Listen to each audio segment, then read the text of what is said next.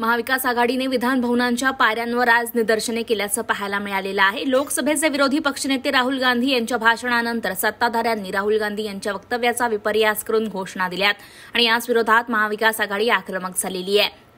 मनुवाद हटाव संविधान बचाव अशा घोषणा देत महाविकास आघाडीने सत्ताधाऱ्यांवर हल्लाबोल केल्याचं या ठिकाणी पाहायला मिळालेलं आहे. आपण ही दृश्य पाहतोय. मुंबईतल्या विधान भवनातली आणि याच पायऱ्यांवर जोरदार घोषणाबाजी करण्यात आलेली आहे.